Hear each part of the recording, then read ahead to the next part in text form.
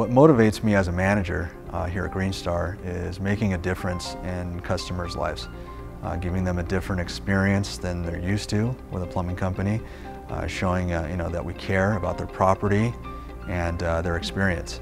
And uh, you know we, we have a president's line guarantee that if they have any concerns, comments, or even if they want to just call and say, you know that they for a job well done, they have a line they can call to a direct owner, and that's as a manager here that I pride myself and, and our team that we have these things uh, in place for our customer satisfaction. What makes us such a special company, I think, here is the people that we have employed here. Uh, it's kind of a family culture here, you know, and everybody knows everybody and um, you know, down from, you know, the CSRs answering the phones all the way up to the ownership here.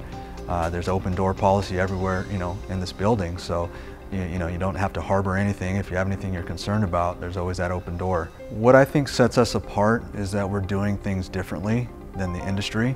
Uh, most companies out there in you know, the plumbing industry are uh, plumbing on a reactive basis.